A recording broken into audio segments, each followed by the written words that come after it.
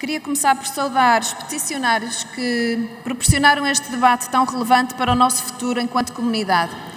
Os estudos científicos são claros. As nossas crianças e jovens, pela exposição recorrente a ecrãs e a tecnologias interativas, estão a adotar um conjunto de comportamentos de risco que prejudicam as interações sociais e a sua saúde mental. A tendência é muito acelerada e preocupante no aumento de sintomas de ansiedade, depressão e outros problemas de saúde mental associados. A tecnologia traz inúmeros benefícios, não podemos negar. O desenvolvimento tecnológico permitiu um acesso ao conhecimento generalizado e ao desenvolvimento de ferramentas lúdicas e pedagógicas que contribuem para um ensino moderno, inovador e com inúmeras possibilidades. Mas estes benefícios trazem lado a lado reconhecidos riscos. Esta preocupação não é nova e os estudos científicos que relatamos são quase todos internacionais. Mas é relevante começar a conhecer o contexto nacional e esses dados escasseiam. Por isso, propomos hoje um estudo nacional que garanta o levantamento do número de estudantes com acesso a dispositivos eletrónicos e ao impacto que os mesmos têm no aproveitamento escolar e nas competências de socialização e integração.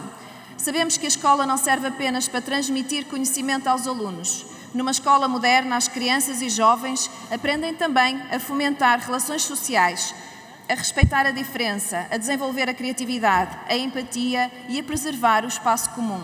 Permitir que as nossas crianças e jovens passem todo o tempo não letivo agarradas a smartphones e a outros dispositivos eletrónicos é hipotecar o seu futuro e atentar contra a sua saúde.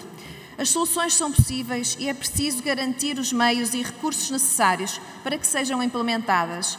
Em Gaia, por exemplo, uma escola transformou o recreio, em, em conjunto com os alunos, num tabuleiro de jogos à escala real e promoveu atividades coletivas com o objetivo também de reduzir o uso do telemóvel. É um sucesso.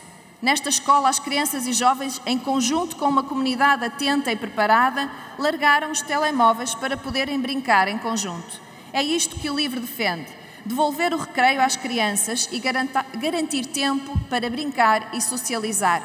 São exemplos como este que devem guiar a escola pública. Hoje apresentamos uma iniciativa procura garantir a instalação de cacifes que guardem de forma segura os dispositivos eletrónicos de todas as crianças e jovens e a implementação de um programa de valorização do espaço escolar para a promoção do convívio interpares.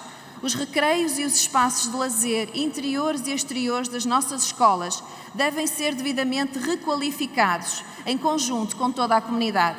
Senhoras e senhores deputados, é o momento de garantir que as nossas escolas asseguram um futuro promissor para, para todas e para todos. A escola tem de ser um lugar seguro, um lugar de felicidade. Obrigada.